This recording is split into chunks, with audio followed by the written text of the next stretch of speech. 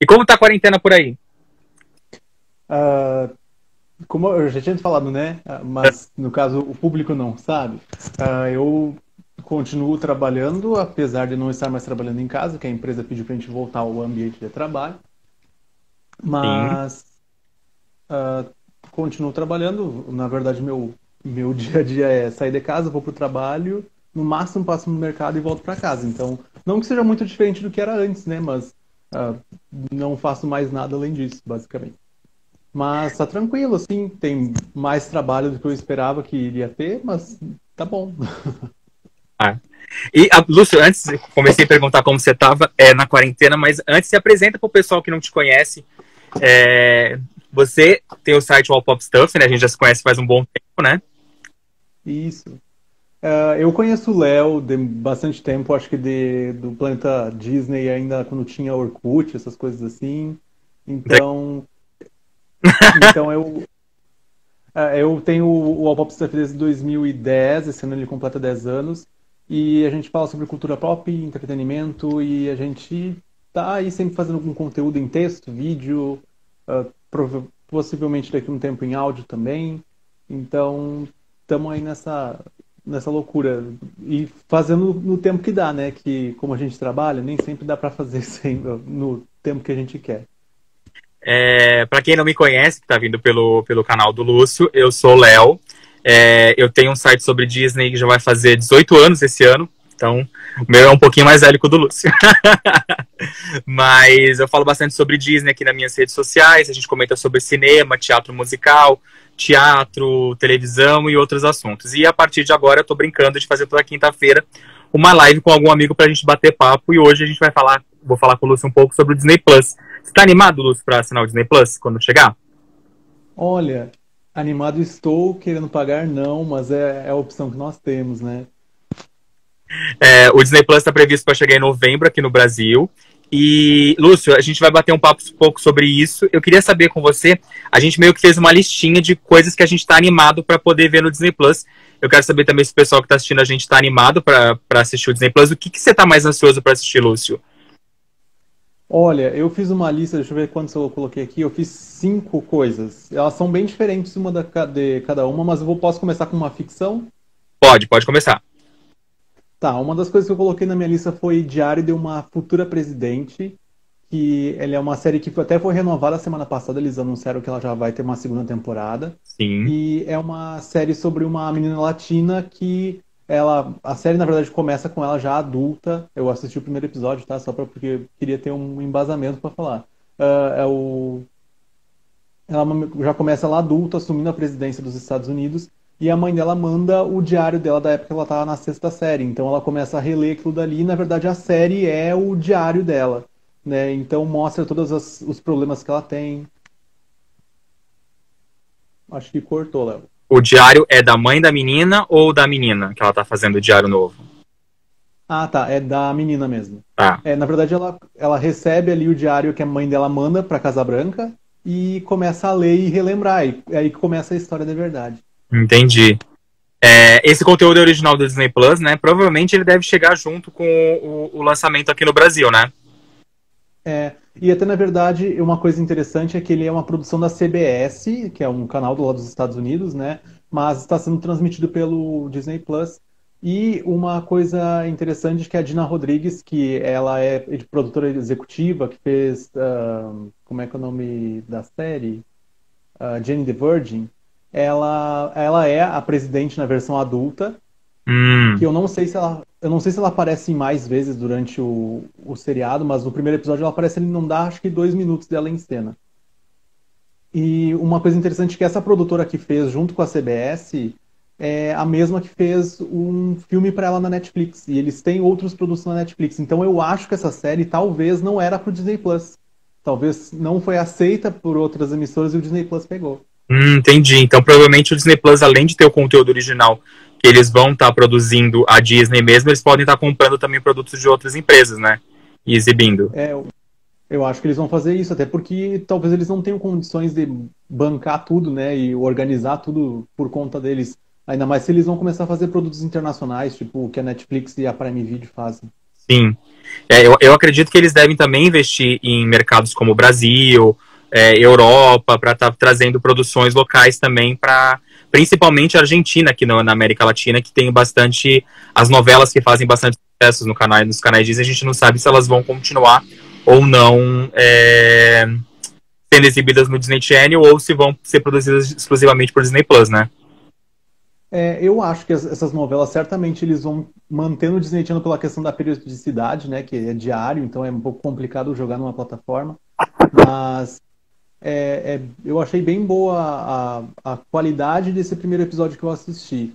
Eles têm a questão de, de apresentar os personagens ali bem rapidamente, na verdade. Eu vi uma narrativa muito parecida com Lizzie McGuire. Sim. Que uma coisa que eu senti, na verdade, que parecia muito com Liz Maguire, porque a, a personagem, às vezes, ela pensa e a narração dela fica de fundo, né? Uhum. E isso é muito o que a personagem da Liz Maguire fazia, só que aparecia a bonequinha, então tu faz aquela correlação. Pelo que você sentiu, eu só vi o trailer da série. É, você sentiu que ela tem um, um apelo musical, como a Disney vem fazendo com quase todos os conteúdos do Disney Channel, ou não? Ela já é um outro estilo de série, como é, Boa Sorte Charlie, As Visões da Raven, ou, ou o próprio Liz Maguire que você citou? Não, ela, ela, não tem cara de ser musical, mas sabe como é que é Disney, né? Eles podem colocar quando eles quiserem, se, Pode... se for necessário. Não, né? Claro. E, e, também tem a questão que a, a série ela não tem aquelas risadas de fundo, né? Então é um pouco diferente já do, dos conteúdos originais do Disney Channel, que tem alguns, eu acho que o último que não teve risada de fundo foi Andy Mac, mas eu não sei por que, que eles não investem mais nessas narrativas assim. Deixa eu te perguntar, você, você deu, eu também fiz uma listinha, eu coloquei cinco é, produtos que eu tô curioso para assistir no Disney Plus. A maioria das meus são produtos antigos. A sua tem mais é, produto original ou mais produto antigo também? Eu resolvi listar só os, os originais, só porque até os antigos eu tinha feito uma lista lá no canal do YouTube. Sim. Então, se o pessoal quiser assistir, é mais séries do Disney Channel mesmo que eu fiz para assistir por lá. Bom que a gente talvez não bata muito, como eu tenho um pouco das antigas também. É, uma que eu escolhi, que pode ser que você também tenha escolhido, é a série do Garfinho, que eu já vi dois episódios. É... Era a minha segunda opção aqui. eu achei a série muito legal. Eu tô bem curioso para assistir a série no, no geral. Se eu não me engano, tem acho que nove capítulos, ou dez, nove episódios, ou dez. A pessoa noveleira ela fica falando capítulos. É, mas é, eu assisti um dele perguntando o que é o amigo. E mostra que, para quem ainda não conhece ou não, não ouviu falar sobre essa série, o Garfinho é o personagem do Toy Story 4 que apareceu. E ele fala um pouco, ele vai tentar meio que perguntar para os outros, os outros personagens do quarto da Bonnie o que são as coisas que ele não sabe, tipo amizade, amor, dinheiro. E os outros personagens vão meio que explicando para ele um pouco sobre esses, sobre esses objetos para ele conhecendo. Eu acho que o humor do Garfinho ele é muito legal.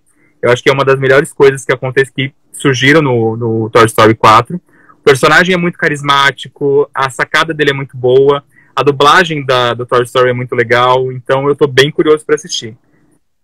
E eu acho legal também que, apesar de ser um curta, a gente sabe que vários personagens da Disney ganharam séries completas, né? Tipo Hércules, a, a própria Nova Onda do Imperador. Então, nada impede que futuramente isso seja né, uma série mais longa e até com personagens, quem sabe, não em 3D, 2D, para a gente ter uma narrativa diferente ali. É, eles podem apostar. Eu acho que eles fizeram uma série de curtas, é, vamos dizer assim, é, com um número X de episódios, mas que se der certo pode ser que con continue. Um outro produto destinado também de Toy Story exclusivo do Disney Plus é o, o a série, a, o curta-metragem da Beth, que hum menos um extra que poderia vir no DVD do, do Toy Story, é, mas que a Disney resolveu colocar no Disney Plus e que traz é, mostrando um pouco sobre o que, que a Beth, como que a Beth viveu os últimos anos. É, só que a gente nunca sabe se é verdade ou não, porque vamos, se você parar para pensar friamente, esse também foi um produto que eu assisti, é, não bate o tempo do que, do que passou na história do filme e o tempo do que ela viveu, se você fizer a, a contagem cronológica. Você chegou a assistir algum curtinho ah, ou da Beck? Não, eu, eu só vi as imagens desse. Eu acabei não assistindo o curta em si. Mas eu achei que, que não sei se eles conseguiriam fazer. Talvez eu acho que um, um mini filme dela seria mais interessante, até para contar melhor, né? Do que vários. do que o curta. Ah, sim. Não, mas, mas o, o, o, engraçado do curta é que ele funciona bem por, por isso, por ser uma coisa mais enxuta. Eu não sei se ela seguraria um filme inteiro mostrando as aventuras dela, porque muito do que ela fala parece que ela tá meio que mentindo para agradar o, o Woody ou para parecer é, que foi uma vida, uma vida tão emocionante quanto a dele com o Andy e depois a Bonnie. Porque lá no, no caso, o, o curta esse, ele mostra a, a casa que ela foi morar ou já a loja?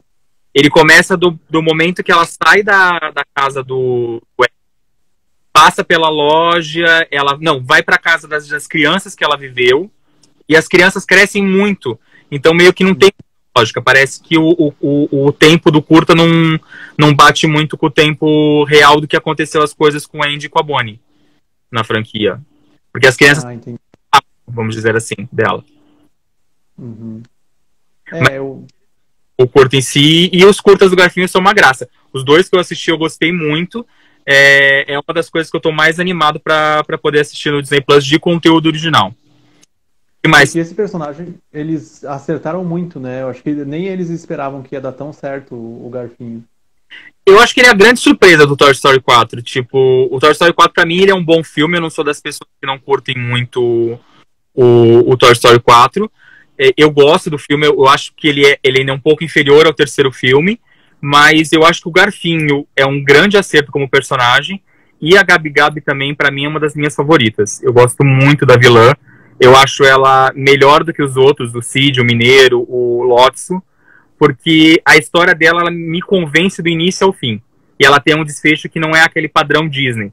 Por exemplo, Lotso, ele, para mim, ele perde um pouco de qualidade, porque ele é aquele tipo vilão da Disney que tá meio cansativo nos últimos anos, que é o cara que se mostra bonzinho no começo e no final você descobre que ele não é tão bonzinho assim.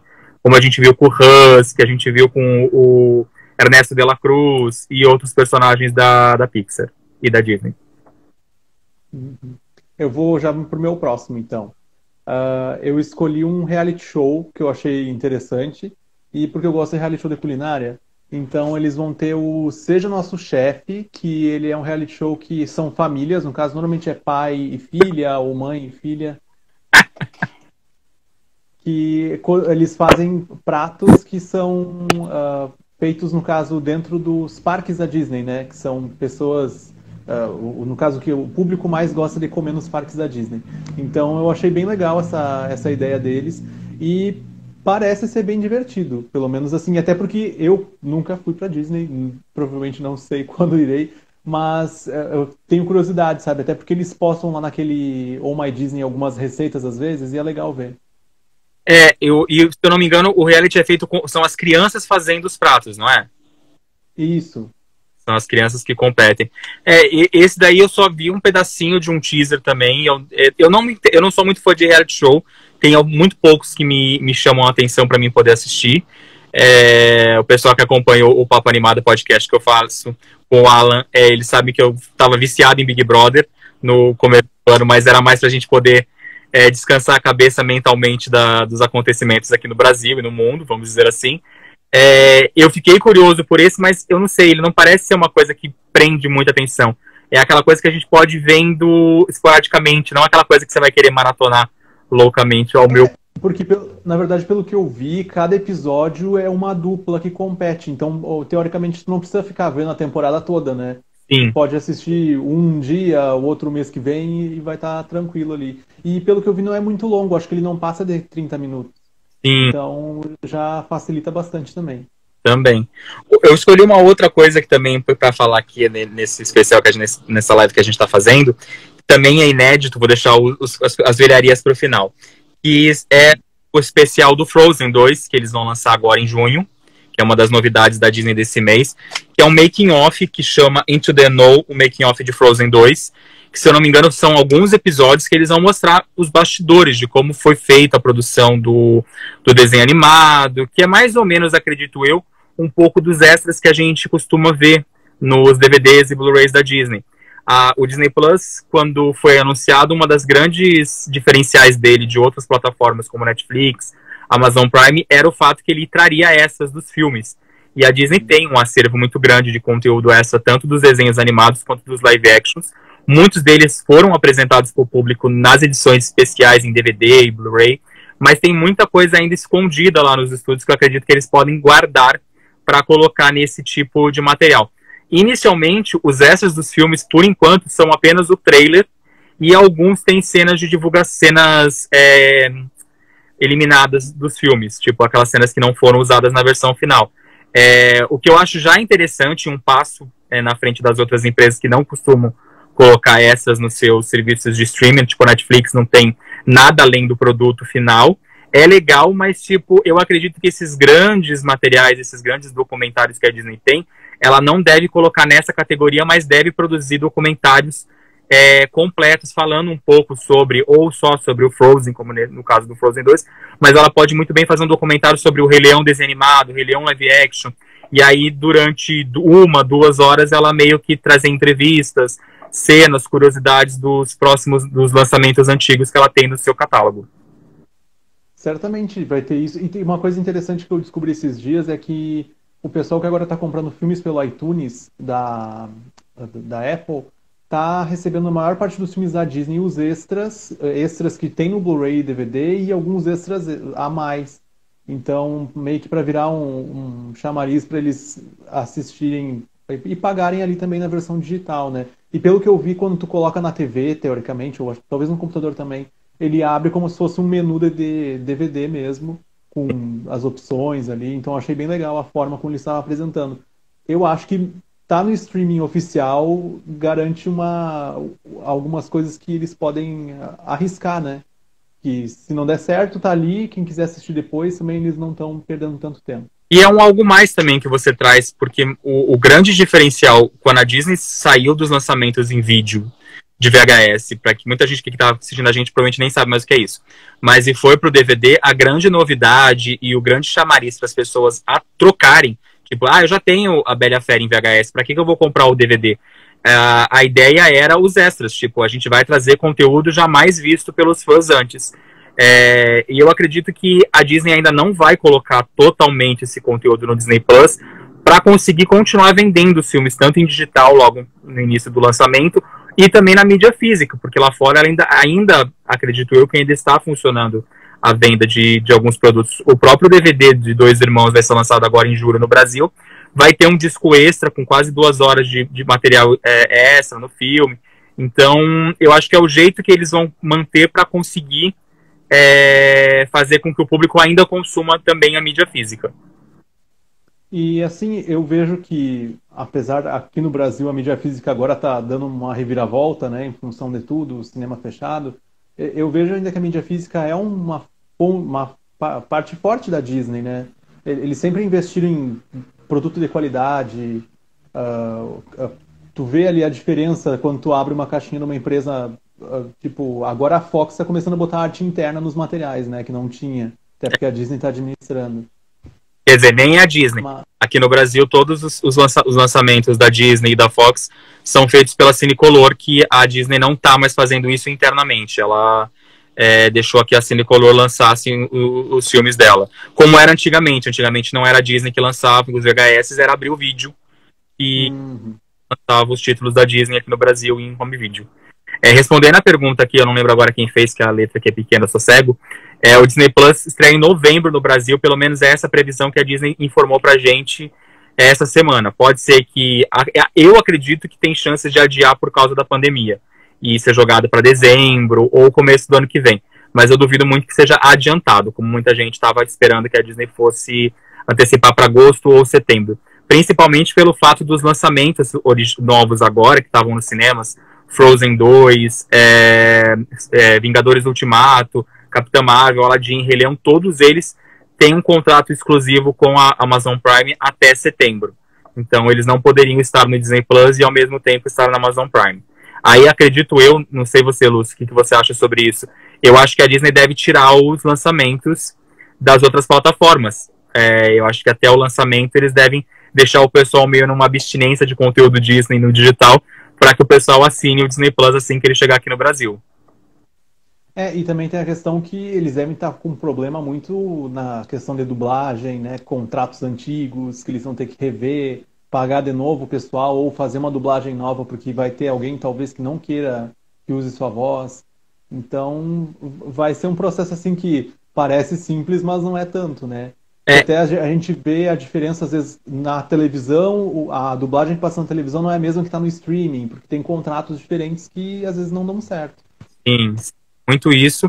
E, é uma coisa que eu acredito eu que já está sendo, que já deve estar sendo resolvido. Os produtos originais do Disney Plus, é, praticamente todos já têm versão dublada e legendas é, em português do Brasil é, nas versões dos Estados Unidos e internacional. É, se eu não me engano, eu estava conversando com um amigo meu, o Tim, é, a gente já viu, eu já fui assistir o Disney Plus na casa dele, alguns conteúdos. É, tem muito conteúdo que está começando a ser lançado agora, ou está aparecendo a versão em português de Portugal, porque Portugal deve ser um dos próximos países a estar tá recebendo o Disney Plus, eu não me lembro agora a data.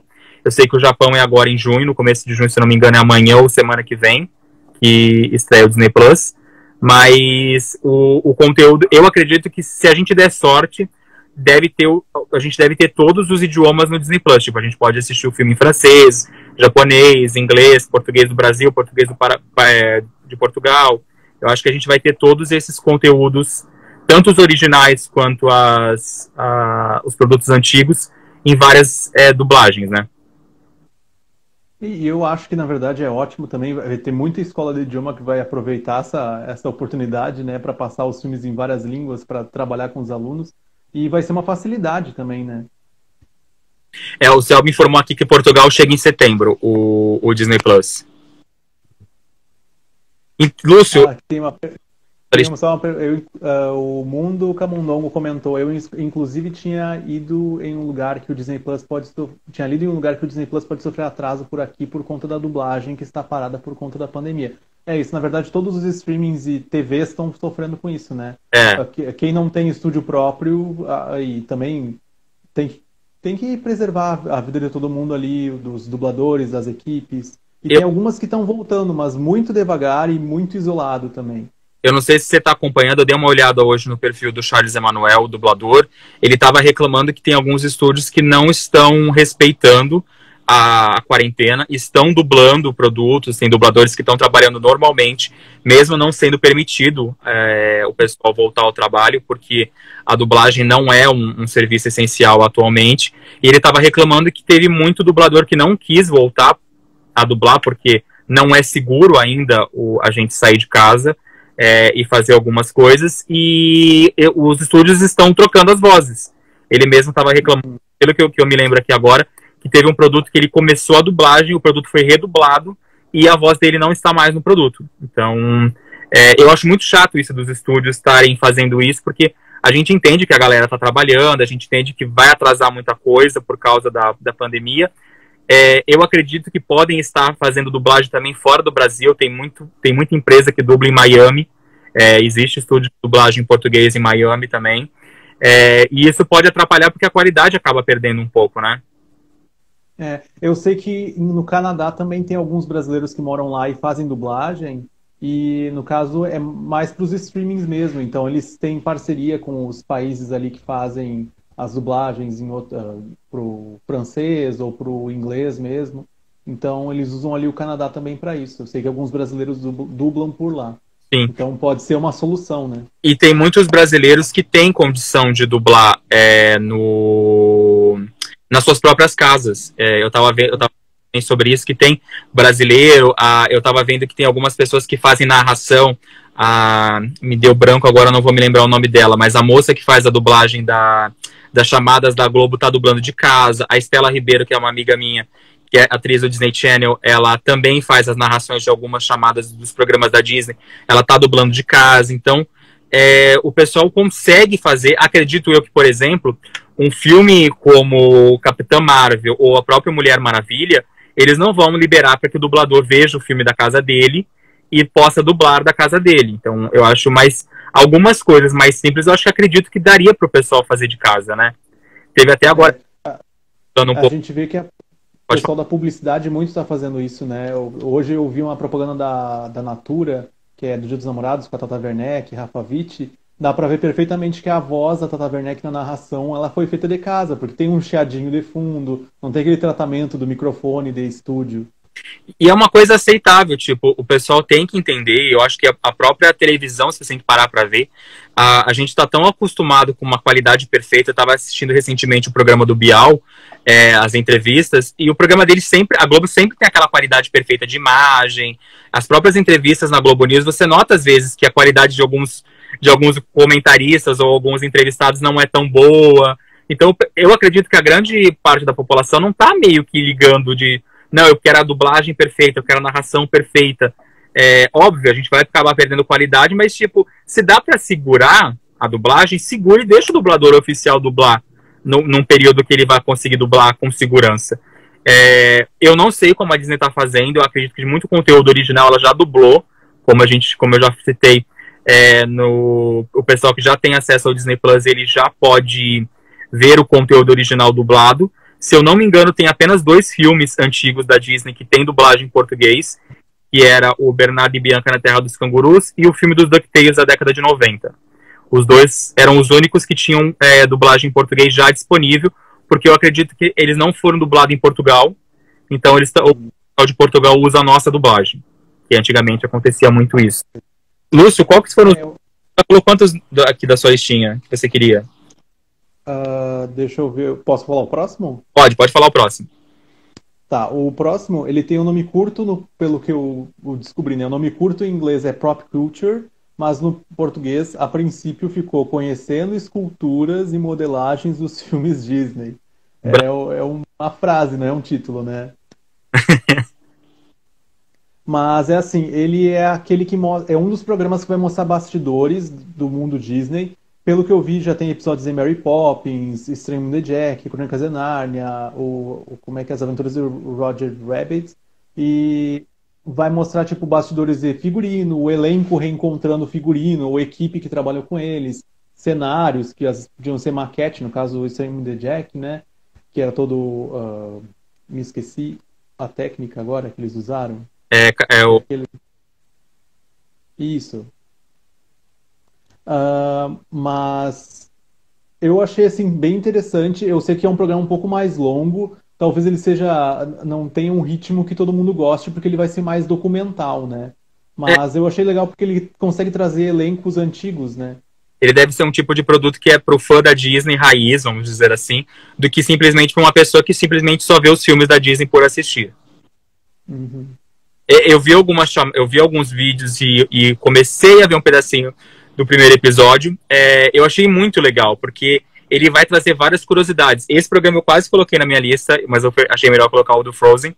É, mas eu acho que é um programa interessante. Ele vai ser tipo como a gente estava falando, aquele programa tipo making off que a gente vai relembrar. E, e, é muito gostoso você ver quando a Disney, não só a Disney, mas quando os outros estúdios trazem de volta elenco, diretor, para contar curiosidades, bastidores. Até recentemente eu estava assistindo uma live aqui no Instagram do da Marie Claire, que trazia a Xuxa, o, o meu um amigo meu, Felipe, que era o repórter, estava um, ah, entrevistando ela, e em vez de perguntar aquelas coisas típicas de quarentena, vida, o que ela faz, ele fez uma entrevista comentando curiosidades do Lua de Cristal, que está completando 30 anos esse ano. Então, eu achei super legal porque ela contou várias curiosidades, ela expôs o Sérgio Malandro, ela falou das Paquitas. Então, é um tipo de curiosidade que a gente acaba é, não vendo nos DVDs, porque o DVD, às vezes, é aquela coisa bonitinha, certinha, e a gente acaba se sentindo como se a gente tivesse, por exemplo, na D23X, que é aquele evento da Disney, que eles reúnem os fãs que realmente gostam de Disney, para poder falar sobre os filmes, comemorando 30 anos, 20 anos. Eu acho que pode ser um conteúdo bem legal esse daí que você escolheu.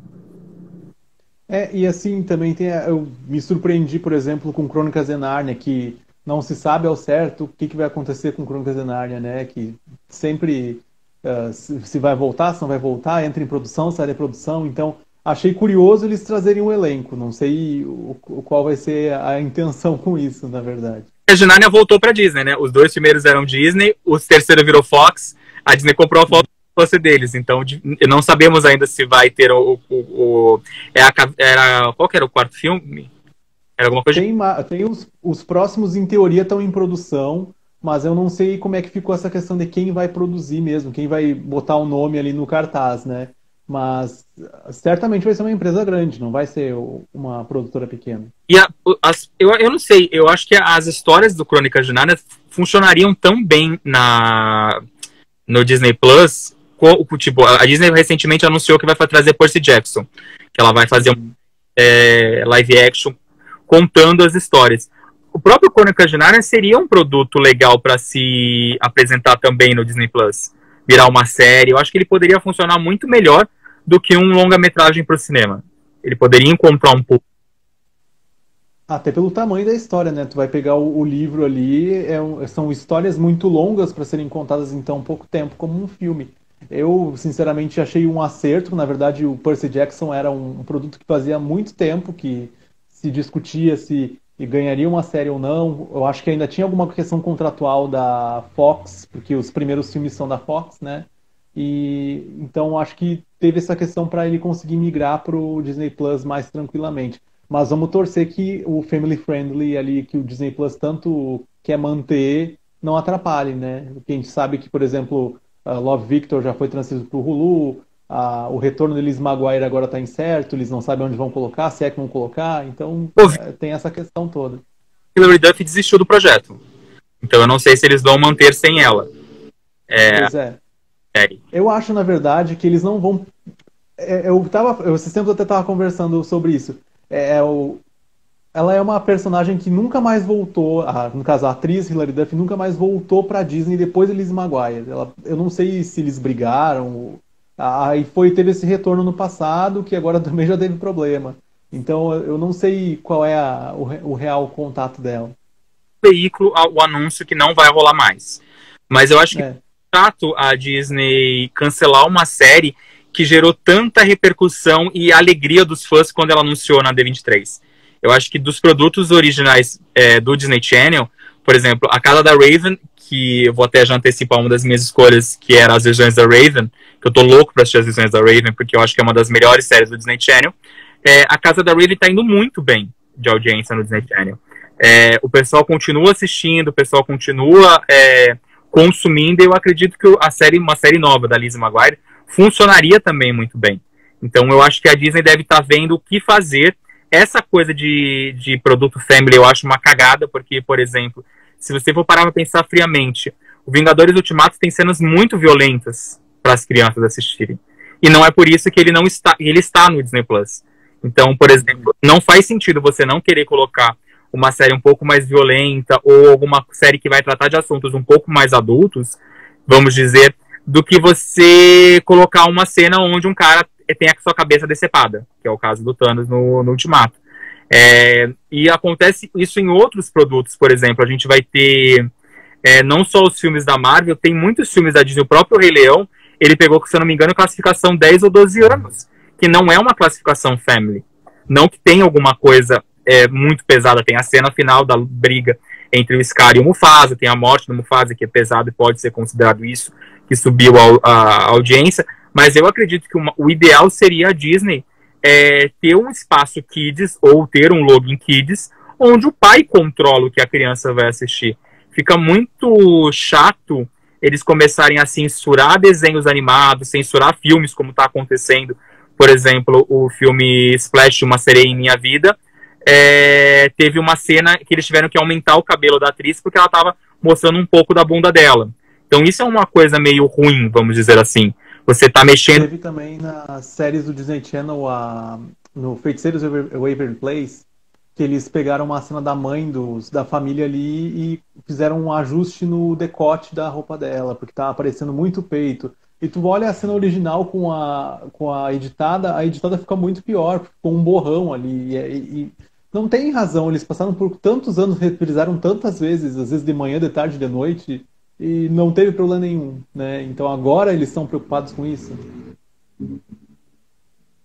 E também. Não, eu perguntei por que, que agora que vai gerar problema disso, né? De tipo, porque Sim. A... caso das curtas do, do dos três porquinhos, que também foi editado, eles tiraram a palavra pai do quadro, que tinha uma foto de uma linguiça, é, não sei se vocês vi, se você viu, Lúcio, essa notícia. Eu, eu vi, mas uma coisa que eu ia comentar até contigo, que eu achei curioso, que eles tiraram a palavra pai do quadro, mas no quadro do lado tá escrito mãe. É, então, eles... a piada era essa. A mãe estava lá e o pai tinha virado linguiça. Eu sempre interpretei isso como uma crítica às pessoas que matam os animais para comer. E não como tipo, nossa, que legal.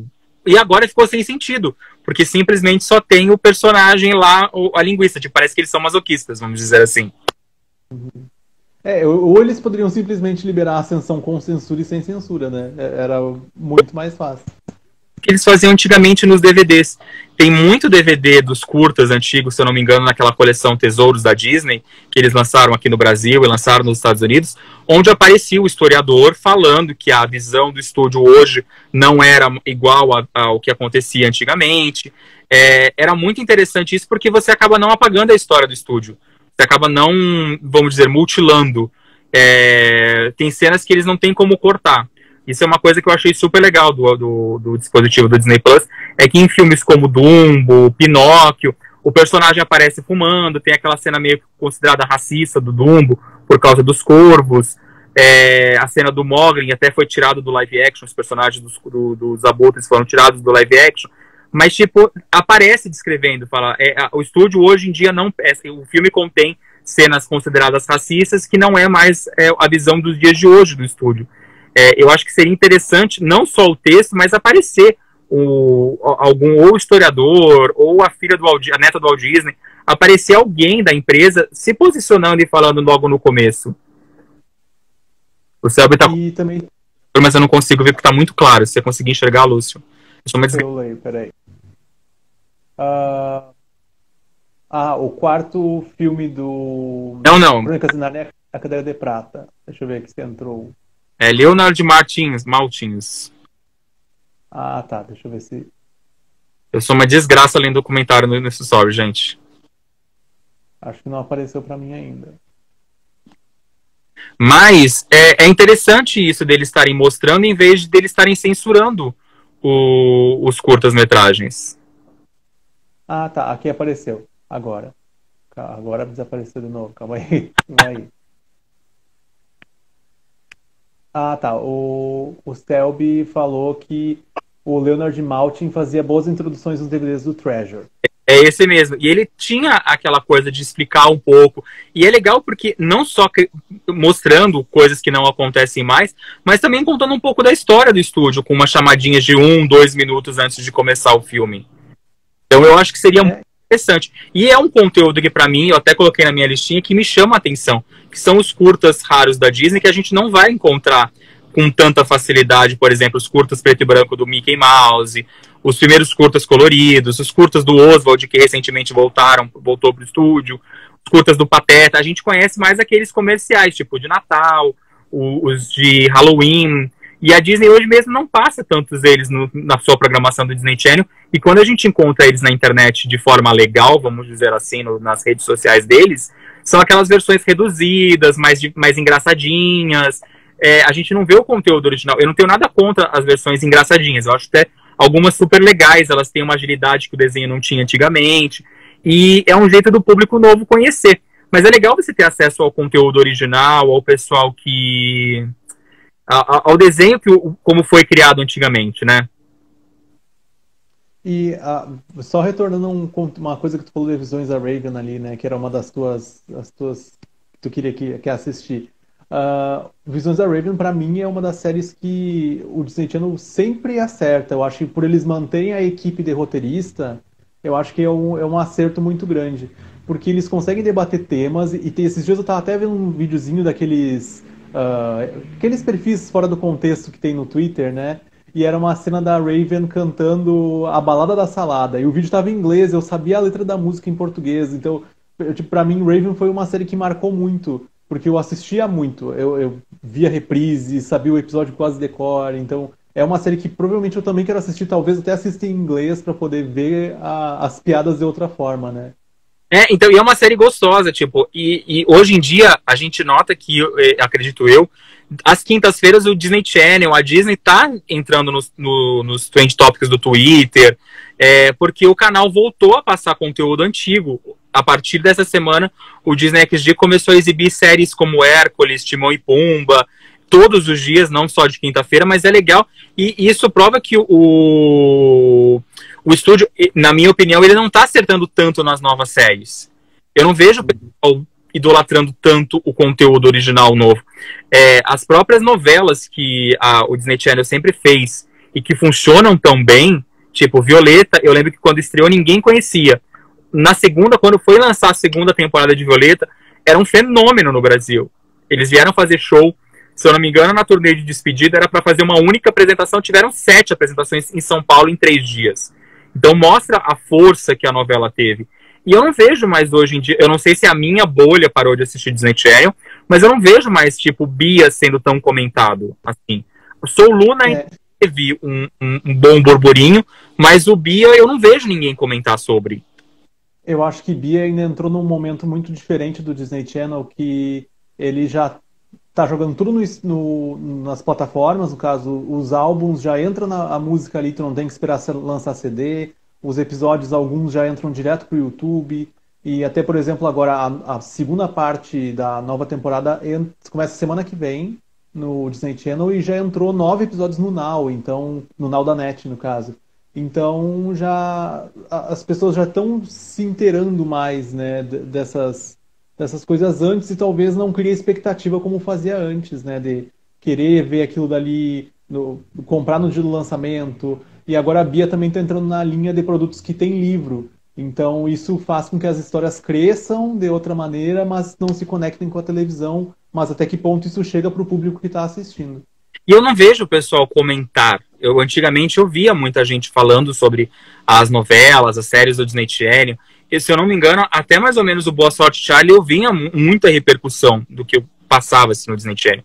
E hoje em dia eu às vezes coloco no Disney Channel, ou às vezes eu zapeio na internet para ver o que, que, as pessoas comentam, e eu não vejo muito pessoal comentar. É, eu me surpreendi muito ao ver quando a Disney voltou com essa ideia do TBT, do, do da série do Disney Channel, e ela começou a trazer Hannah Montana e outros outras séries antigas que voltaram a, a gerar conteúdo. É, e eu acho engraçado quando as pessoas comentam sobre esse TBT das quintas-feiras, porque eles chamam da era de ouro do Disney Channel, né?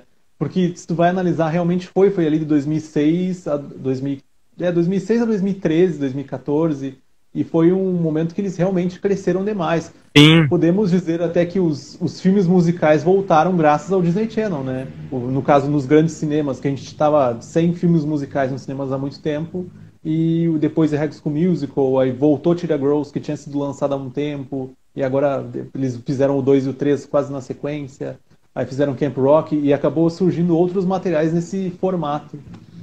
É, o pessoal. É o que ele segue até hoje. Sim, e eu, eu acho que o grande problema foi o grande exagero. Porque todas as séries do Disney Channel tinham que ter música, todas as séries tinham que ter CD, é, todos os filmes. Então eu comecei a achar isso muito cansativo. Eu gostei muito de Boa Sorte Charlie porque era uma série que voltava pro sitcom família, de tipo a mãe, o filho não precisar ter música. Eu lembro que antigamente eu até brincava com o pessoal que trabalhava na Disney, os assessores da época, eu falava, meu, porque tudo tem que ser música, aqui no, principalmente aqui no Brasil, a gente não tem a cultura de ir ao, de ter esse teatro no colégio, de querer fazer musical. Eu amo musical, mas tipo, não é aquela coisa que necessariamente eu preciso uh, é, consumir produtos só musicais. Legal ter, mas é legal você ter, tipo, umas visões da Raven, você ter uma outra série diferente. E até os filmes originais, né? Eles se perderam muito em querer fazer sempre musical e, e agora eles fizeram, por exemplo, ano passado refizeram o Sexta-feira Muito Louca na versão musical, até porque já tinha no teatro. Então eles tentam resgatar, mas às vezes não é necessário, né? Agora, por exemplo, lançou há pouco tempo Zombie, Zombies 2 e pelo que eu vi a audiência foi boa, mas não tanto quanto eles esperavam. Então, eu não sei até que ponto realmente eles vão manter esse investimento. Eu acho que eles vão manter alguma série, alguma, algum filme assim, uma vez por ano, mas eles vão começar a ver que essas séries mais antigas, com um formato mais uh, tradicional, estão voltando a, a, a, dar certo. E eu acho legal que eles estão apostando não só no, nos cinemas, como a gente vê live action de tudo, que é clássico da Disney, é, eu achei muito legal a iniciativa deles apostarem no live action do, do da Kim Possible, que é também, não tá na minha lista, mas tipo, é uma das coisas que eu tô louco para reassistir a série de animação. Eu assisti o filme, eu achei ele muito infantil, a série era para crianças, mas ela não era tão infantiloide quanto o filme. E o, o filme eu acho que ele funciona, ele, fun ele é uma boa ideia, mas mal executado. E eu acho legal eles trazerem de volta, não tudo, mas tem produtos que poderiam voltar e ter novos episódios, novas temporadas. É, tem muita coisa legal que eu estava acompanhando. Por exemplo, se a gente for falar de séries, tem Doug, Hércules, A Pequena Sereia, A Nova Escola do Imperador, que eram séries muito legais. Hoje em dia, quando são exibidas no Disney Channel, por exemplo, o Hércules e o Timão e Pumba, no Disney XD estão passando sete e meia da manhã e oito horas da manhã, que não é um horário digno de se acordar, minha gente. Pelo Deus. Tem gente trabalhando, tem gente dormindo. É, e assim, por exemplo, você estava falando de Kim Possible, a gente acompanha tanto um conteúdo da Disney, Marvel ou outros super-heróis, digamos assim, que tem um tratamento de imagem, de figurino, que tu vê que é bem feito, efeito especial legal, e tu vê que, tudo bem, é um filme para televisão, mas ele não foi feito da forma que poderia ser feita, né? Eu vejo que a história de Kim Possible é uma história que dava para levar para o cinema tranquilamente, mas se tivesse uma produção um pouquinho mais elevada, um valor um pouquinho a mais no, no orçamento. Eu gosto, então, mas eu, eu, eu, até te falo, o, o, o, visual é cafona, mas tipo, ele remete a sério. Os personagens estão Ufos é estranho, os personagens causam um choque inicial, mas não é um produto de qualidade ruim de tecnicamente. Eu gostei do elenco, eu gostei. Eu só acho que o roteiro ficou tão bobo e infantil que não faz sentido. Eu não sei nem se as crianças se interessaram por, por esse tipo de conteúdo. É, e assim, até a Christy Carson Romano, que fazia a voz da Kim na versão original, ela tem o canal do YouTube dela e ela chama o pessoal do elenco, da série que dublava com ela, ou de outros programas que ela fez. E ela sempre comenta sobre Kim Possible, ela, tipo, é, ela é, é a Kim Possible encarnada, praticamente, porque ela nunca deixa de falar, ela tem orgulho da personagem mesmo. Então, até esses dias ela estava fazendo review dos episódios, ela estava assistindo de novo e comentando os episódios. Ah, então, é coisas são coisas que é, é, legal ver que é, o próprio elenco tem orgulho daquilo que fez, né? Respondendo a pergunta aqui do meu território nerd, do Júnior, é, eu acredito que ele perguntou se a, se a Disney deve é, tirar os canais de, de, do ar com a chegada do Disney Plus. É, pelo que a gente que eu estou acompanhando, principalmente fora do Brasil, na Europa, parece que alguns canais podem ser é, extintos. Eu acredito que aqui no Brasil se rolar de tirarem os canais do ar, eu acho que a Disney pode acabar com o Disney Junior e acabar com o Disney XD, que é um canal que não deu certo. É, o Disney XD tem um conteúdo muito legal. Eles tinham uma série que eu gostava muito na época que ela estreou, o Airstone, se eu não me engano, vai estar no Disney Plus. Tinha uma banda lá em casa que era super engraçado. É, o próprio DuckTales, é, a Disney está tirando agora do Disney Channel e jogando para o Disney XD para ver se consegue levantar a audiência agora na, na, na nova temporada. Mas eu acredito que se a Disney for extinguir algum, algum canal, vão ser esses dois. E eu acredito que eles devem manter o Disney Channel até durar as TV a cabos aqui no Brasil. Eu acho que acabar com todos eles geralzão não deve acontecer. E eu acredito que nem lá fora. Eu acho que eles devem manter pelo menos um canal, passando um, uma programação meio mista é, e chamando a atenção do pessoal pro, pro aplicativo, pro Disney Plus.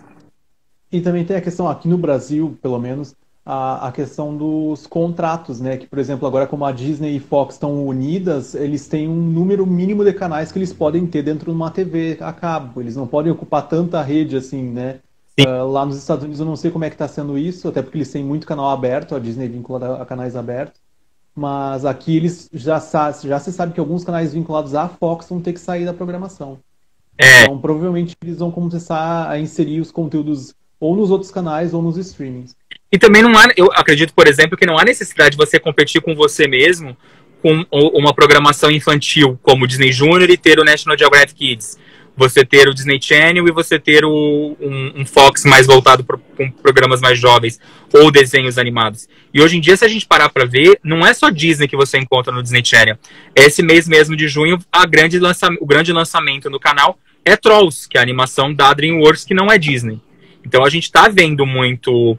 É, é, legal você ver que tem muitos produtos da Fox, como Anastácia, 12 é Demais, chegando na programação do Disney Channel, mas é, você meio que também desvirtua um pouco do canal. Sim. É... E, e, também a gente vê, por exemplo, que a, a Disney está investindo nos seus produtos nos outros canais, né? Tipo TNT, Warner, tudo está passando os filmes da Disney também. Não, tem dia que você vai mexer na TV a cabo, todos os canais estão passando desenhos da Disney. É bom que você não tem nem opção. Tipo, meu, qual que eu vou ver de novo hoje? Lúcio, você tem mais algum filme que, ou série que você queira indicar aqui pro pessoal que você tá louco para assistir? Agora eu vi que já estamos quase no fim, já são. Sim. Já tem menos de 10 minutos. Olhei agora. Mas. Meu Deus, passou rápido. tem um outro que eu achei interessante porque é um formato que o Disney Channel não ocupa. Eles ocupam mais na TV aberta lá dos Estados Unidos, que é os game shows. Sim. Aí no caso é o, o Grande Mentiroso. Eu fiquei curioso para ver como é que é, porque ele é tipo uh, um jogo de família que as crianças têm que descobrir se o pai e a mãe estão mentindo. então eu achei divertido, assim, o trailer é bem divertido e eu acho que pode funcionar, até quem sabe para fazer versões internacionais. Esse já estreou ou ainda não? Já estreou esse. Ah, legal. Esse eu não tinha ouvido falar. Eu, eu acho que eu já, um amigo meu já tinha me comentado sobre ele, mas acho que eu não vi nada sobre esse reality. Eu acho que a Disney deve começar, minha opinião, com esses tipos de programas vindo só dos Estados Unidos, mas nada impede deles começarem a investir também em produções locais. Se o Disney Plus funcionar bem por aqui ou em outros lugares, como o próprio Netflix vem fazendo. The Circle tem versões no mundo inteiro. Porque, na verdade, esse programa é um formato, assim, pelo que dá para ver, é muito simples. É um, é um, não tem plateia, é um cenário com duas cadeiras de um lado, três cadeiras do outro e a apresentadora no meio. Então, não tem muito por que não fazer uma, uma versão internacional, né?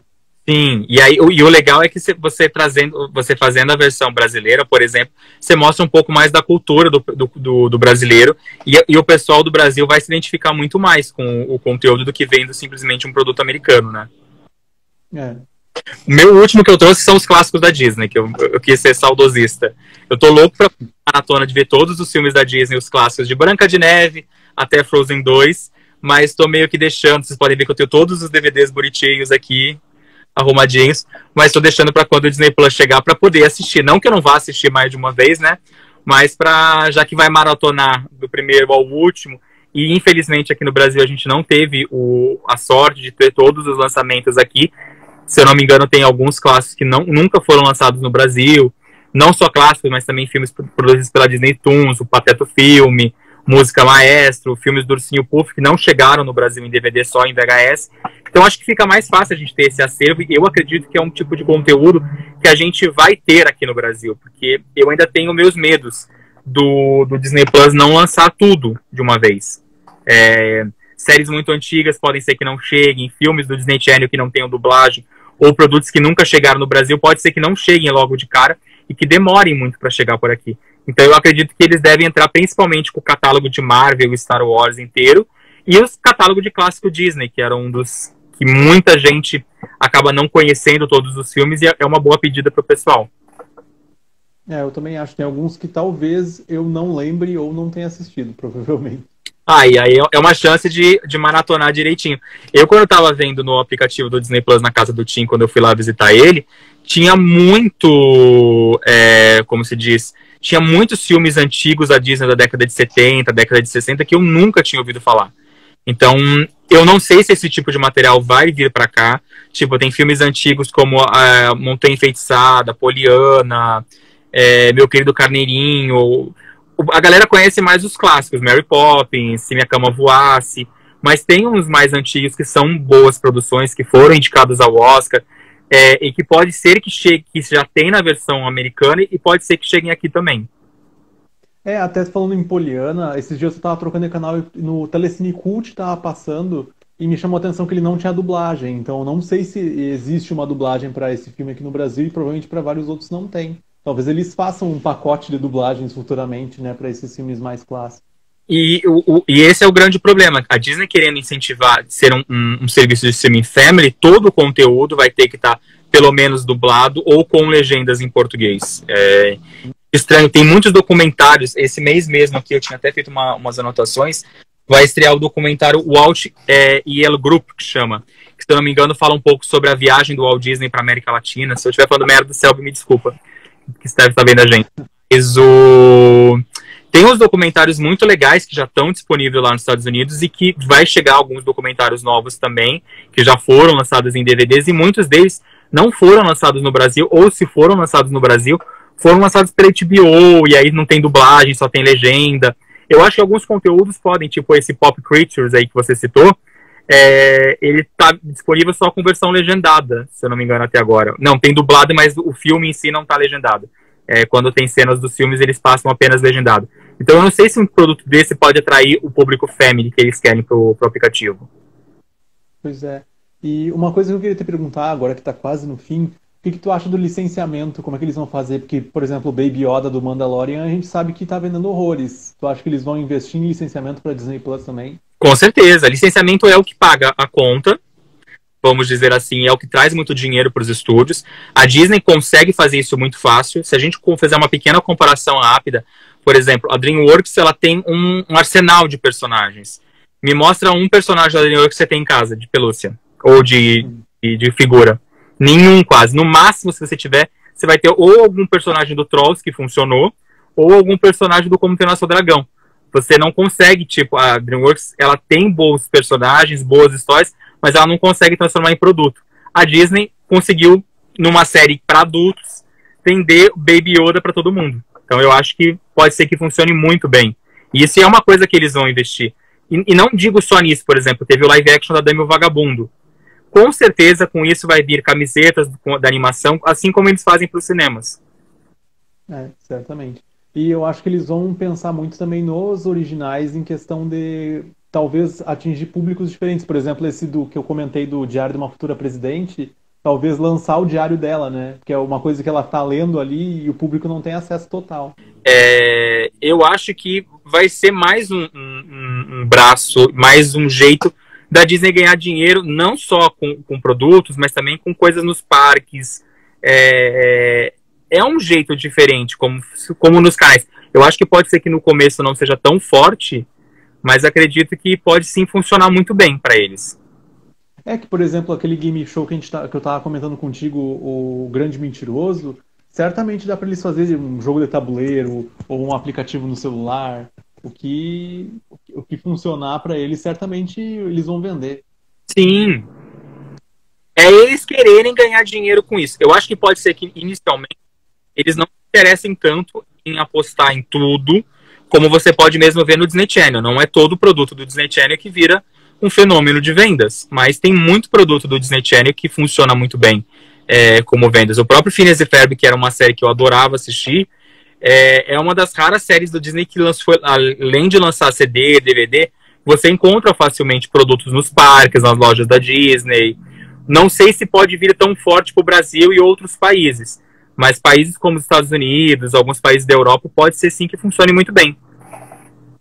Mas agora tu falou de Phineas e Ferb, olha, eu deveria ter colocado na lista, porque eu acho que é um dos desenhos do Disney Channel mais novo, assim, que foi um dos que eu assisti, se não tudo, faltou muito pouco. Eu gosto também muito, eu, tá, ele tava na minha lista porque eu fiz uma lista meio que roubando. Eu coloquei séries do Disney Channel, eu citei várias. Disney Channel, é, Phineas e Ferb é uma delas. E não só isso, tipo, além da série do Phineas e Ferb, tem um produto muito legal que eu gostei muito na época que ele foi lançado no Disney Channel, que era aquele talk show que eles entrevistavam celebridades. Que era bem divertido. Eu tinha esquecido disso. E Phineas e Ferb é a prova que a série faz tanto sucesso e faz tanta falta que vai ter um filme é, exclusivo do Disney Plus que vai ser lançado ainda esse ano é, é bom saber que a série não, não tá morta, vamos dizer assim, que a Disney ainda está investindo.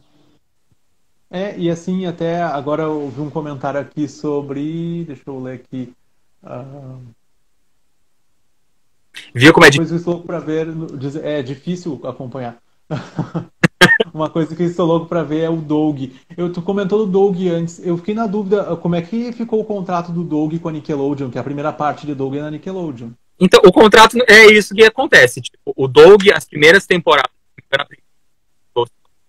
é Dojo, ele não tem acesso, que é essa temporada que a gente vê quando passa na Cultura, no TV Futura, que a gente vê passando em alguns canais abertos no Brasil. O Doug da Disney é, é da Disney. Então, esse Doug tem no Disney Plus. Não sabemos também se vem para o Brasil.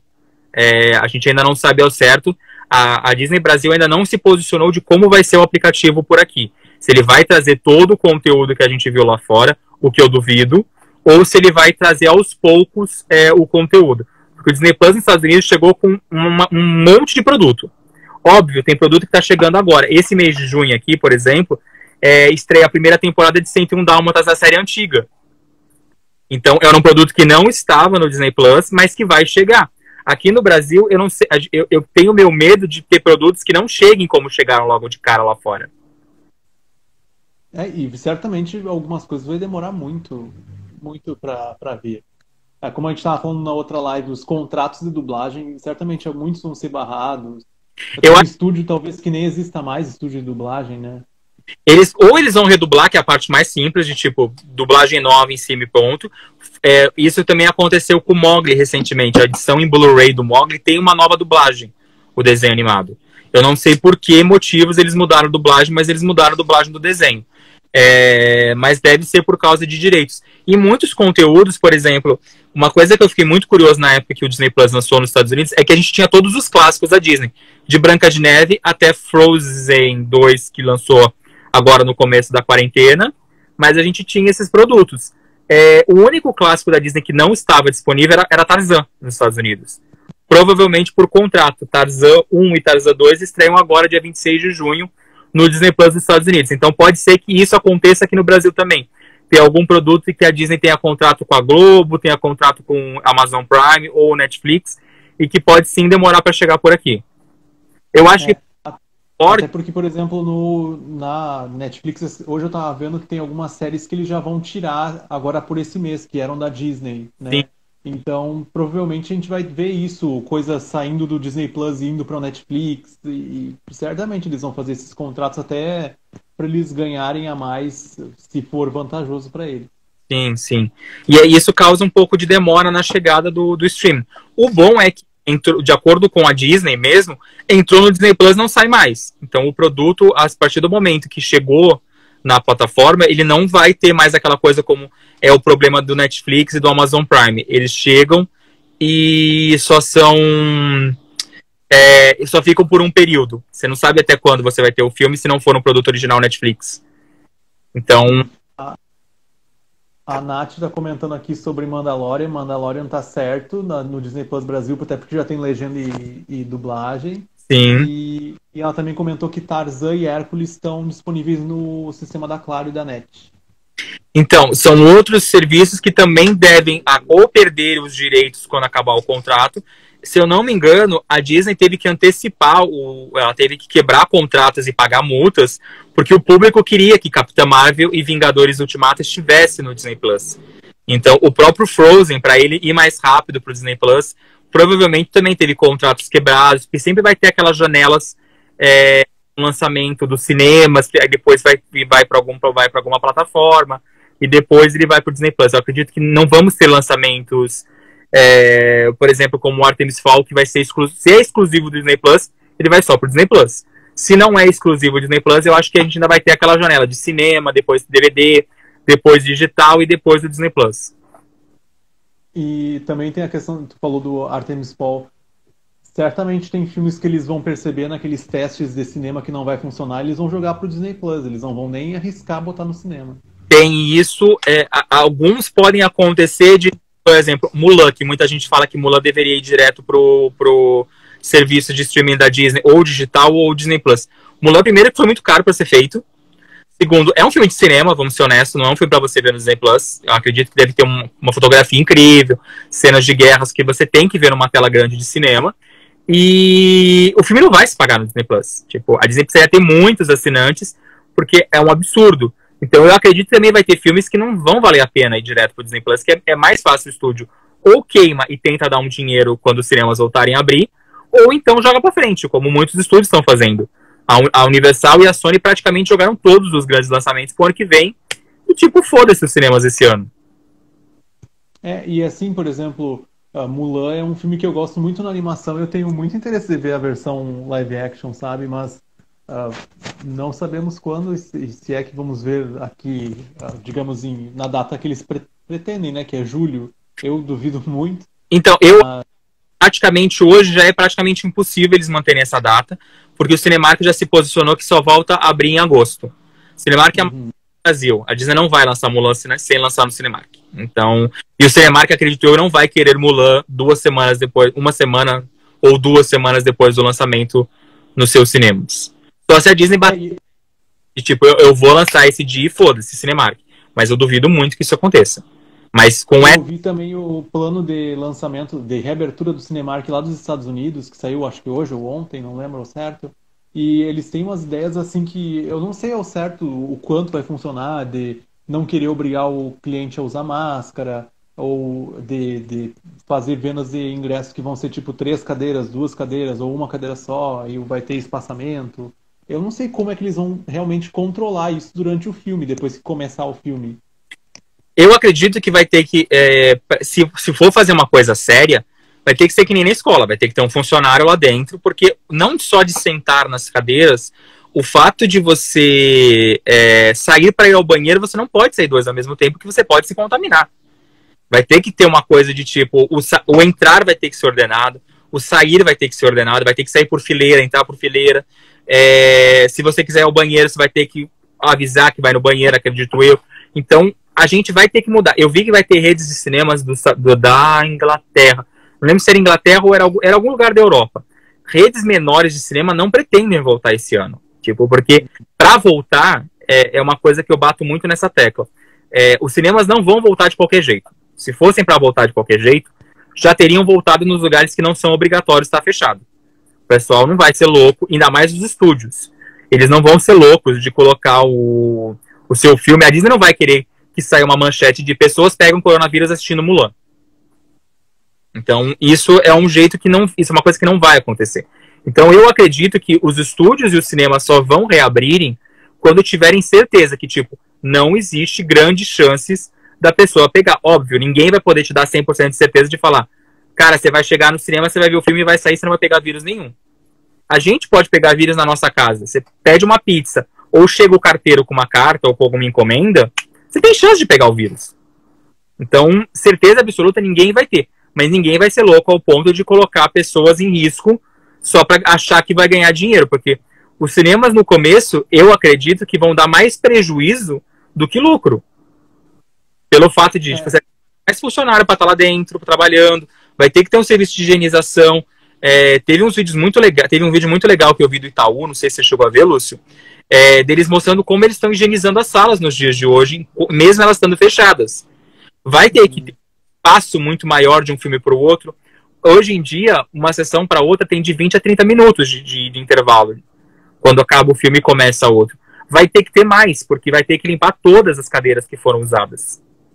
É, e tu pensa quando é aqueles blockbusters tipo Vingadores, que eles fazem às vezes intervalo de 10 minutos para poder botar mais filme, né? Eles não vão poder mais fazer isso. E outra coisa, não vai poder. As pessoas falam, ah, vai ter. Não vai ter muita gente. Se numa sala cabem 100 pessoas, não vai ter 30 pessoas dentro da sala. Eles não vão. O pessoal, é, a, os parques da, o parque da Disney de Xangai, que está reaberto, o governo pediu para que no máximo possa entrar 30% de público da capacidade não tem nem 20% de pessoas entrando. Eles estão tomando o máximo de cuidado, porque pode dar merda a qualquer momento. Eu estava acompanhando o, o, podcast do Selby, que ele estava comentando dessa semana, é, e ele fala que teve, teve gente reclamando. Eu estava vendo alguns amigos meus que trabalham com viagens, e tem gente que não está respeitando a fila. Óbvio, tem os cash members, tem os funcionários que estão informando, mas você não consegue controlar, às vezes, quando não tem um espaço. Tipo, vai ter a fila para entrar no brinquedo. Ok mas nada me garante que uma, eu esteja na fila e passe uma pessoa próxima a mim, que pode não dar o espaço certo para o contágio. Tem a entrada e a saída do parque, que tem muita gente entrando e saindo ao mesmo tempo. Você vê que tem uns buracos, mas nem sempre fica aquela aglomeraçãozinha. Então, eu já acho que nem os parques deveriam estar abertos agora. Mas a é, gente. Até, até que a Nath comentou que esse, agora os lanterninhas vão voltar a ter função dentro dos cinemas, né? Certamente vai ter alguém ali acompanhando tudo. Vai ver o filme milhares de vezes. Mas... E, e não só. É mais um funcionário que você vai ter que pagar. Porque antigamente você tinha um funcionário, pelo menos nos cinemas que eu frequento aqui em São Paulo. É, com a, o, o, o, problema de pirataria, tem muitos cinemas, é, a Play Art é um deles, que eu acho muito legal a, a atitude deles, em que de tempos em tempos entra um funcionário na sala e se a pessoa estiver estiver mexendo no celular, ela é advertida e se ela estiver filmando o filme, ela é retirada da sala. É, a gente não pode ter esse. É, é, é um funcionário que estava cuidando de sete, cinco, sete salas. Hoje vai ter que ter um funcionário full time dentro da sala. E se o complexo tem cinco, sete salas, são cinco, sete funcionários lá dentro trabalhando. Sim, e se tu vai pensar, é, é complicado, né? Porque eles vão ficar assim totalmente fechados aquele ambiente também. É, não, e não só isso. O que dá dinheiro hoje no cinema não é o ingresso do filme, é a bomboniere. Como o Paulo mesmo estava comentando aqui com a gente, tá comentando aqui, é, se você tiver de máscara, você vai comer pipoca? Você vai tomar refrigerante? É, é, é tudo. Eu acredito que tudo isso está sendo estudado. O pessoal do mercado de cinema, que nem eu, eu, eu brinco muito, eu falo para as pessoas que às vezes o pessoal comenta, ai, cinema nem pensar esse ano, não sei o que. Falei, gente, o pessoal tá, tá, tá trabalhando, tá pesquisando, tá vendo um jeito de reabrir a sala de um jeito seguro. Ninguém tá sentado vendo Netflix o dia inteiro. Óbvio, a gente também tá vendo Netflix. Mas está sendo estudado jeitos de, de o cinema voltar sem que as pessoas corram risco. O próprio, se você parar para ver as lives dos cantores sertanejos, eu achei maravilhoso. A live do Roberto Carlos, ele colocou acrílico, tipo, baterista tá com uma casinha, guitarrista numa casinha, tipo, ninguém tem contato com ninguém e ninguém tem contato com o Roberto Carlos quem sabe o, o módulo cabine não volte para a sala, de tipo, cada um fica num lugarzinho assistindo filme. É, Tudo até, tá... até, até na tua live que tu fez há um tempo atrás com o Orelhas e Tiaras, vocês comentaram sobre o drive, drive-in, né? De qualquer forma, o drive-in ainda é um pouco arriscado para assistir o filme, que tu vai ter que manter aquela circulação de pessoas ali. Então, é, nos cinemas drive-in de hoje, aqui de São Paulo, tem um distanciamento obrigatório de um carro para o outro mas nada impede de, tipo, a pessoa sair para ir ao banheiro. Você fica. Você fica eu, eu, aí é minha opinião. Eu não gosto de ficar dentro de carro. Eu não sei se eu me sentiria confortável ficando duas horas e meia dentro de um carro assistindo. O grande público que consome cinema hoje em dia é jovem. Jovem não tem carro. O jovem não tem idade para dirigir um carro. Então você não vai chegar e ligar pro motorista do Uber e falar, moça, você pode ficar duas horas comigo no com o taxímetro ligado que eu quero ver um filme velho? E, e é isso vão ter que... criar uma categoria dentro dos aplicativos para isso. É, você vai ter que ter um date com o motorista do, do, do aplicativo. Querendo ou não, você vai ter aquele problema que eu vejo assim, tipo, você sentado na frente, a visão deve ser boa. E a pessoa que está sentada atrás?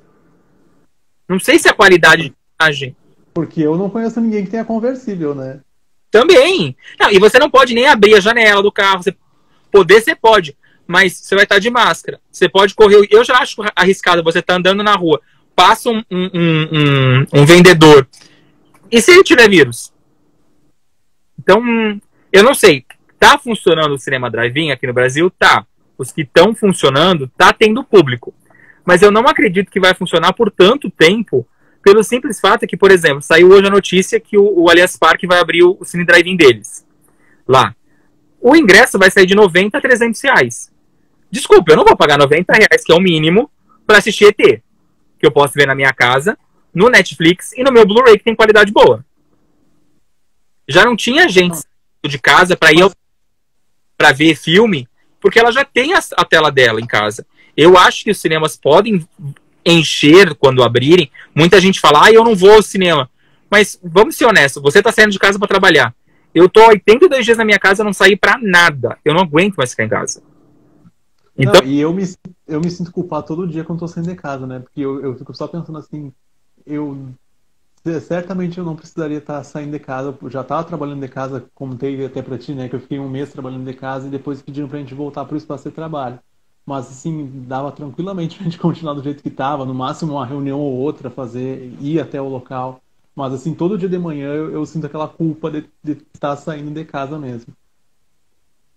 E você tá saindo de casa culpado para fazer uma coisa chata. Eu acho que seria mais legal você sair culpado para ir no cinema ver Mulan. Pelo menos. Esse...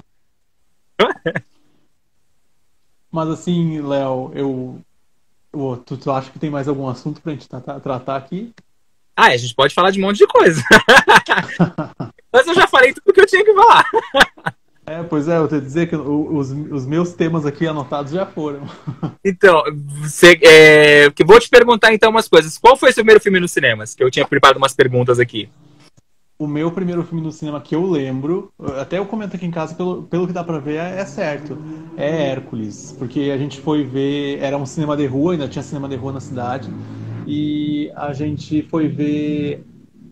Era uma atividade, eu lembro da atividade, eu tava acho que na pré-escola, alguma coisa assim a gente tinha que ir no mercado, comprar as coisas que a gente queria levar para o cinema. Ou seja, já aprendia desde criança que podia passar na Americanas para comprar as coisas, né? Então, uh, ia no mercado comprar as coisas que ia levar pro cinema e depois ia pro cinema. Então, na verdade, era para aprender a usar o dinheiro ali, quanto dinheiro tu tinha, quanto podia gastar para sobrar dinheiro pro ingresso e sobrar dinheiro pra comida. Antigamente, com 10 contas, a gente ia no cinema, janta, almoçava, ainda comprava um doce. Hoje em dia, com 10 contas, você não faz nada. Você não vai no cinema. Você não... é, e qual foi o último filme que você viu nos cinemas? Antes da quarentena? O último filme. Sabe que eu tenho anotado isso? Eu, eu tenho anotado, desde o ano passado, eu tenho anotado os filmes que eu assisto, né? Sim. Agora eu não lembro ao certo. Eu queria ah, uma pessoa. Eu acho que foi ou o Dois Irmãos, tá. ou foi um nacional. Ah, que eu fui ver, tinha só eu e meu amigo que a gente foi no cinema, que era solteira quase surtando. Ah, Duas então... pessoas Mente que foi dois irmãos, mesmo que foi esse outro, que esse parece ser ruim. é bem ruim, pra ser sincero, é bem ruim. Eris, pode ter sido seu último, então. É, provavelmente foi esse. Se tem outro, até depois eu confiro, mas agora eu não lembro. E tu lembra qual foi teu último filme, Léo? Meu último foi Dois Irmãos. Eu assisti eu em minha do, do filme francês. É... Ai, gente, calma aí que eu vou lembrar é, das férias lá. As primeiras férias não se esquece jamais. Eu tava com enxaqueca, eu almocei, se eu não me engano, com a Camila, eu acho que no dia, minha amiga, que tava lá comigo na cabine. Recebi os jornalistas, bonitinho. Aí eu tava já lá na Play Art e falei, ah, meu, vou matar, vou ver dois irmãos. É, ou sexta-feira de estresse, se eu não me engano. Eu não cheguei na cabine dos dois irmãos. É, depois, eu tive duas, eu tive a pré-estreia das primeiras férias, eu não consegui ver. E a pré-estreia do filme do Elf, que a gente também ia lançar, que a gente não lançou ainda, é, da A2. É, eu ia assistir a pré-estreia, mas aí corre-corre, resolveram pepino de evento, não rolou assistir o filme. Aí eu cogitei no sábado. Isso foi a última vez que eu saí de casa, dia 14, sábado. 14 de março. É, eu almocei cogitei rever Dois Irmãos. Eu falei. Aí eu pensei, eu falei, ai meu, vai estar tá lotado o metrô na volta, ia ser umas seis da tarde, o pessoal ainda tava voltando, ainda tava muita gente saindo na rua. Eu falei, eu não quero voltar com o transporte público fudido para mim não pegar o, o vírus. Aí voltei mais cedo para casa e não saí mais. Estou em casa desde então.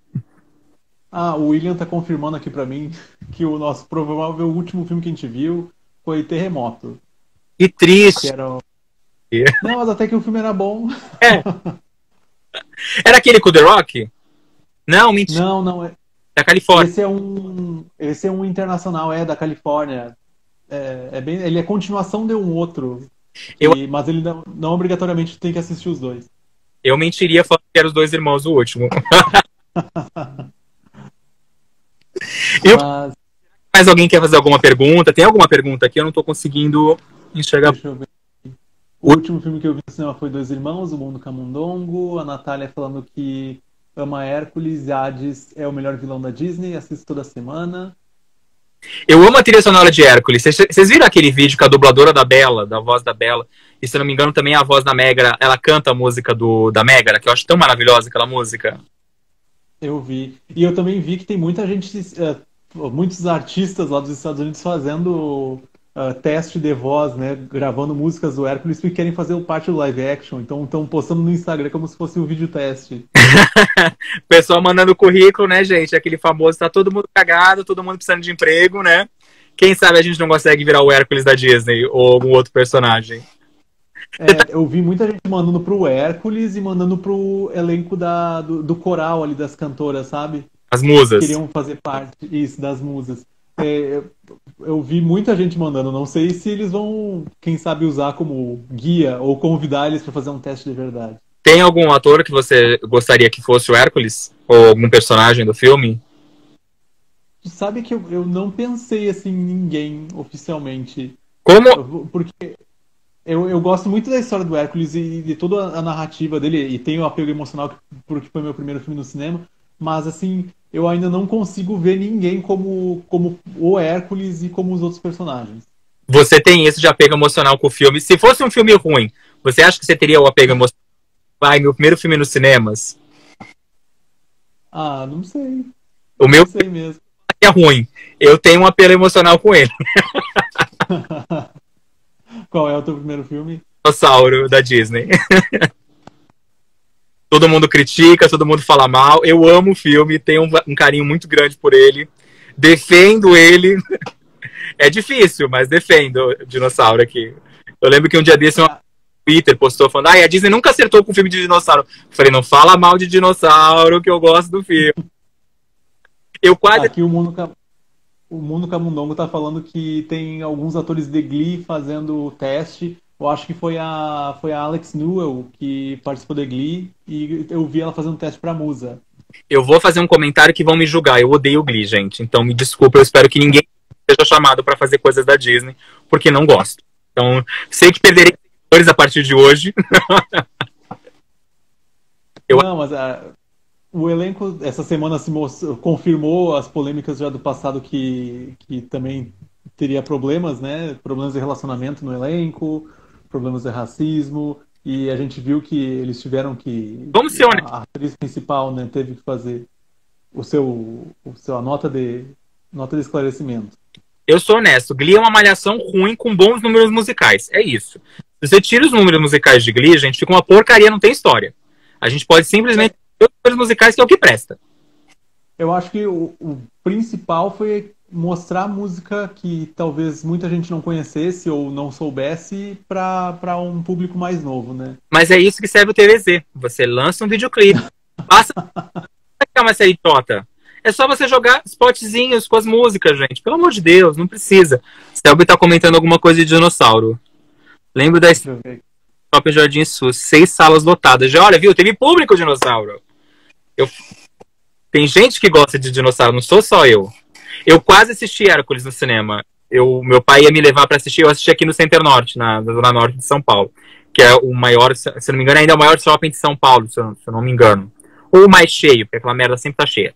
É, eu lembro que a gente foi assistir Hércules, não era na estreia, foi logo depois. Eu tava tão feliz que eu passei mal e fui voltei para casa. Não, aí já era, fiquei pra próxima. Meu pai depois me comprou. Meu pai conseguia me comprar bem, assim. Agora que me, me, eu me lembrei da questão do. que tu também falou do Tarzan. Na época que tu foi ver Tarzan, tinha um brinde. Eu lembro que eu ganhei uma revistinha quando eu fui ver Tarzan. Eu não sei se era oficial da, da Disney, alguma coisa assim. Eu lembro de Tarzan, eu só consigo me lembrar daquele chocolate branco da Nestlé, que ele tinha uns, uns, uns confeitozinhos coloridos que estouravam na boca, que era maravilhoso aquilo. Não sei se você lembra. Não lembro. É que aqui eu, não, eu lembro de ganhar aquela revistinha quando tu entrava no cinema, sabe? Era meio que. Eu não sei se era o brinde da primeira semana, eu não lembro ao certo, mas, mas eu sei que tinha uma revistinha com aqueles joguinhos de completar, ligue ponto, essas coisas assim. O Paulo tá perguntando quando o Artemis Falls estreia. É dia 12 de junho, amigo. Nada de pirataria. Pirataria é crime. Espera Disney Plus. Aqui no Brasil ele chega em dezembro. Ou novembro, depende de quando chegar o, o, o aplicativo aqui. É, e agora tem toda essa questão, né? Vamos esperar que o aplicativo chegue uh, na data que a gente espera, né? É, não, Porque... não tem data. A, a Disney tá jogando novembro. É, quer dizer, o pessoal da assessoria me passou que era novembro. Nos, nas redes sociais, a Disney tá jogando final do ano. Dia 31 de dezembro é final do ano. Então eles podem até 11h59 do dia, do dia 31 de dezembro. Eu não me surpreenderei se Disney fazer isso. Mas. Não vai ter, não vai ter fogos esse ano, vai ser todo mundo assistindo Disney Plus em casa. Não, eu vou começar uma nova quarentena. Eu, eu acho assim, eu espero que a quarentena acabe logo, para mim poder ver as pessoas que eu quero ver. Chega o Disney Plus em novembro, eu só volto pra, pra realidade em janeiro. Tem muita coisa para se ficar saindo de casa, gente. Disney não lance nada não. em dezembro. Por. Não, e, e, certamente vai ter muito filme a, enchendo os cinemas, né? Eu, eu espero que, na verdade, eles saibam distribuir bem dentro dos, dos calendários possíveis. É, os calendários, eu acho que não só da Disney, mas de, todos as, de todas as distribuidoras, devem sofrer muita mudança. Eu acho que eles não estão mexendo, a própria Disney não está mexendo ainda, pelo simples fato que a gente não sabe se vai ter cinema. Todo mundo está naquela vibe de tipo, ah, Mulan não vai ser lançado, Mulan vai ser lançado. Ninguém sabe. A, a, a pandemia, tanto. Mulan só vai ser lançado mundialmente se os Estados Unidos estiver bem. Se lá nos Estados Unidos tiver a opção de lançar os filmes, eles vão lançar. Eles não vão queimar o filme. Eles não lançaram naquela época por causa do mercado chinês que estava fechado por causa da pandemia. Agora é o mercado americano. Então, tipo, para Mulan ser lançado, Estados Unidos e China tem que estar tá funcionando. A gente, eles estão cagando pra gente como já cagam faz muitos anos. É, tá aqui em julho, se vai lançar aqui ano que vem, se não vai ser lançado. Não é isso. E eu acho que os estúdios, a partir do momento que os cinemas reabrirem e que eles verem que vai ter público, eles começam a desenhar de novo o calendário. Se você for parar para ver friamente, o mês de dezembro vai ser uma carnificina se ele se manter. A gente tem dia, tem quinta-feira, que a gente tem três blockbusters. Não existe cinemas no Brasil suficiente para três blockbusters no mesmo dia. Você imagina três Vingadores Ultimato sendo estreados no mesmo, no mesmo final de semana. Não dá. Tem alguns filmes, por exemplo, que o Vingadores Ultimato é um exemplo. Ele estreou, na semana seguinte quase não estreou nada. Estreou filmes pequenos. Filme grande ninguém quis, porque ia dobrar. O filme ia continuar fazendo sucesso. Ninguém vai ser louco de lançar um filme grande, é, uma Disney, não vai querer bater de frente com uma Mulher Maravilha, tipo, lançar Mulan e Mulher Maravilha no mesmo dia. Um, não vai ter sala de cinema suficiente. Dois, vai ter menos sessões por dia por causa dessas limpezas. Até acharem a vacina, a gente não vai ter previsão de quando a gente vai ter a nossa vida normal de volta. Então vai ser bem o Paulo está comentando aqui que aquela questão da revistinha do Tarzan, que no cinema eles davam uma revistinha para cada ingresso do Tarzan, e era várias, e ele tinha uma coleção. Paulo, arruma uma para mim que eu não tenho. Eu quero. A gente, quando a gente for almoçar, você me... quando a gente tiver vida de novo e puder almoçar, a gente marca. Lúcio, aguardo o brinde. Esses seus cinemas daqui. Você já, você já, a vez que você veio, eu te levei num cinema clássico. Você não pode nem reclamar. Isso, foi lá no Marabá do, da Play Art. Sim. Que ele é. é foi bem, Mas é foi um... bem legal. Até, até a gente. Eu esqueci. Aquela vez eu esqueci de falar pra ti que a gente podia ter entrado antes pra conhecer, né? Porque eu acabei indo direto pra sala. Não, ele é muito bonito visualmente, ele tem um, um, espelho lindo, tem uns lustres muito bonitos. Ele é bem cafona, daquela coisa clássica de antigamente. As salas não são tão boas no dias de hoje, mas ele tem um valor histórico muito bonito, como os outros cinemas de rua de São Paulo, que eu acho que o pessoal devia valorizar mais. E é uma coisa que eu achei super legal, por exemplo, Belas Artes, pra, Belas Artes é o Belas Artes, para não demitir os funcionários, o Belas Artes está fazendo leilões, artistas estão doando figurinos, é, coisas deles ligadas a cinema, para que eles mantenham os funcionários empregados e não tenham esse problema de precisar demitir a galera. E eu vi que o Belas Artes, é, eles criaram aquela plataforma que eles já tinham, mas agora, é, no período da quarentena, eles reformularam, né, de, de filmes. Sim. E eles foram muito ágeis, né, eles não, não sei se já está no planejamento deles, mas eles foram muito rápidos em organizar tudo, botar filmes, e tem, tem muitos filmes bons lá dentro. É, tem filmes que é, é, fácil que você tenha a permissão e você consegue. Eu tava vendo esses dias aqui uma matéria de. Eu tava vendo um comentário de, de algum jornalista falando sobre isso, de tipo, ai, por que não lançam os filmes direto em digital? Tem filme que não dá. Quando você compra o filme, está no contrato lançar no cinema. Se você uhum. no cinema, você paga uma multa. Então você tem que lançar no cinema. Então, filme nacional, você pode ver, ai, nenhum filme nacional foi direto pro digital nessa pandemia. Não, porque todos eles têm a cláusula que o, o, o patrocinador deu dinheiro para o filme ser feito, então o filme precisa estar no cinema. É uma, um, uma parte do contrato. E a gente vai sofrer muito com isso quando os cinemas se abrirem, porque o calendário vai ficar muito esmagado. Eu acho que o pessoal, se for inteligente, vai dar uma espaçada, porque do mesmo jeito que a gente não está lançando filme agora, a gente não está produzindo filmes agora.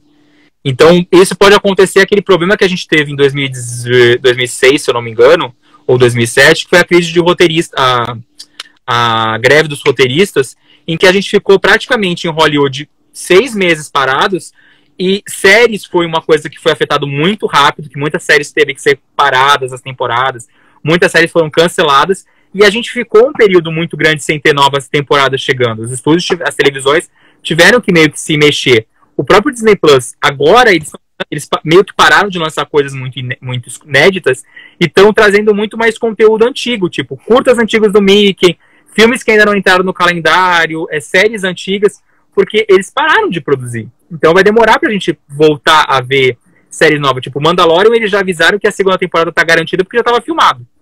Mas, por exemplo, as séries da Marvel, ninguém garante que elas vão estrear inteiras esse ano ainda, pelo simples fato que não par elas pararam suas produções na metade. É, e pode ser que eles dividam uma temporada de 10 episódios em duas de 5. Sim, isso pode acontecer. E vai prejudicar o, o pessoal do mercado, porque agora vai ter aquela, aquele boom de filmes no cinema. Todo mundo que não lançou vai querer lançar. E mais pra frente a gente vai ter buraco, porque vai ter mês que pode ser que não tenha nenhum blockbuster. Já que ninguém produziu.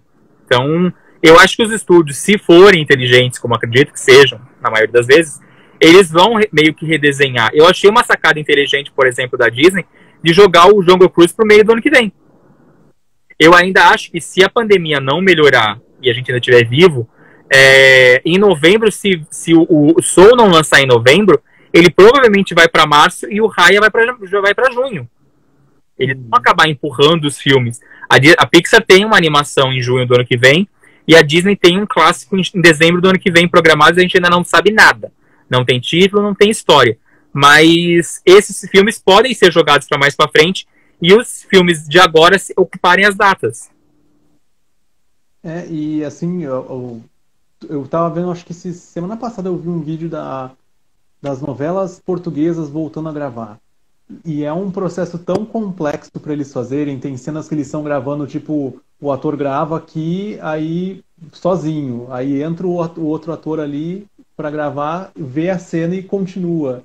Então é um processo que eles vão ter que se organizar por um bom tempo e depois fazer os cortes certos e para que funcione e eles consigam continuar, né, esse conteúdo. A Globo anunciou agora há pouco que vai voltar com Amor de já começou os processos para voltar Amor de Mãe, mas eu não sei, né?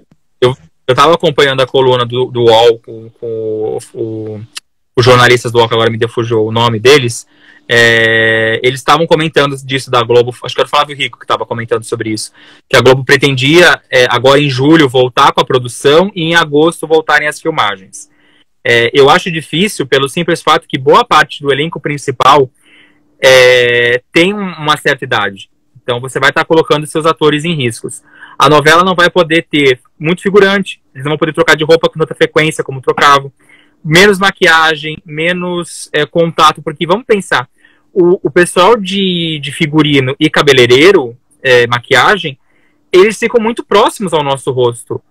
É, é, que nem eu acho, hoje em dia eu acho um absurdo um salão de beleza tá funcionando e o, um das pessoas estarem sem máscara, por exemplo, às vezes o funcionário tá, o, o funcionário, o cliente está de máscara e o cabeleireiro está sem máscara. Pô, o cara tá teu, fungando no teu cangote o tempo inteiro praticamente quando tá cortando seu cabelo. Então eu acho que é um risco manter. E a gente aqui no Brasil, principalmente, a gente não está com a pandemia caindo. A pandemia não para de subir. Ontem a gente teve os números de hoje, mas ontem a gente bateu o recorde de, de, de, mortes e de número de pessoas infectadas no Brasil. E eu acho que com o afrouxamento tende a piorar. E eu acho bem difícil, tipo, eu vejo muita gente falando, ah, eu acho que as coisas não vão voltar a abrir. Eu acho injusto, é, é o meu modo de pensar, algumas pessoas abrirem e correrem o risco e outros mercados não querendo ou não, tipo, a desculpa, eu acho que todo mundo tem trabalho, todo mundo depende de trabalho. Tem muita gente que às vezes fala pra mim, ah, mas o cinema é, não é prioridade. Eu falo, prioridade não é prioridade para você que não trabalha com cinema, gato. Fica você três, quatro meses sem receber salário.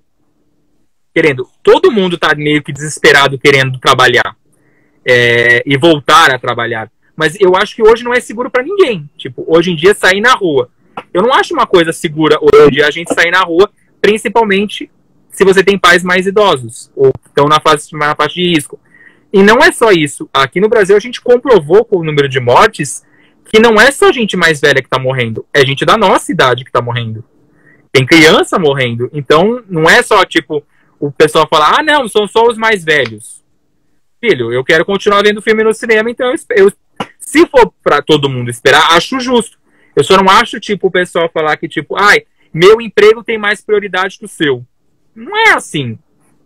Eu, pelo menos, penso assim. E para mim, o drive-in você corre tanto risco quando você estiver numa sala de cinema ou num supermercado. Você corre o mesmo risco. Tem ar-condicionado, ninguém garante que está sendo limpo, e por aí vai. É, e, e, também tem toda ali, tipo, tu falou da idade, né? Ali, por exemplo, a, já foi visto nas algumas pesquisas que os dos 20 aos 30 e poucos anos é o pessoal que está mais preocupado em se manter dentro de casa, trabalhando dentro de casa, estudando dentro de casa mas também tu, tu percebe um aumento das outras idades muito grande, né? Porque a, a gente está acostumado a estar tá fora de casa, eu acho que esse é o ponto.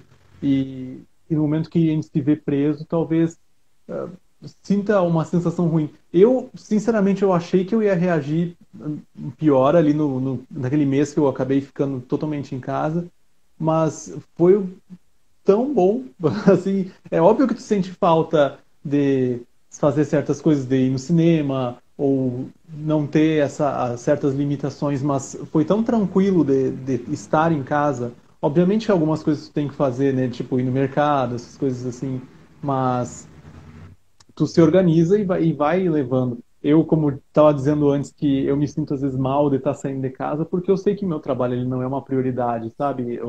É uma prioridade, digamos, dentro do ramo da educação, que eu trabalho na, na área da educação, mas ter que ir ao ambiente de trabalho é um pouco, assim, assustador, porque tu...